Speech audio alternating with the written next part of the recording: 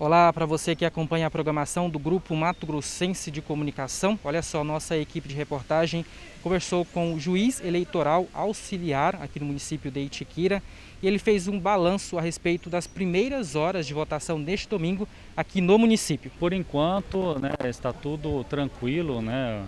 Não teve nenhuma ocorrência, nenhum crime né, eleitoral.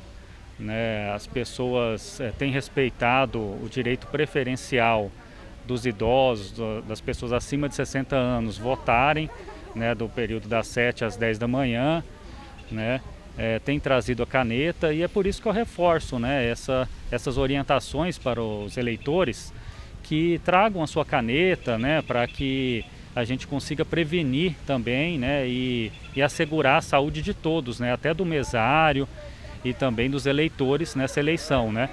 E também respeitar o distanciamento social, né, é, sair com máscara de casa, né, é, respeitar os horários preferenciais, que vai até as 10 horas da manhã, né, para pessoas acima de 60. E, e, é isso, né? Por enquanto tem tudo transcorrido na maior naturalidade. Como tem funcionado a fiscalização?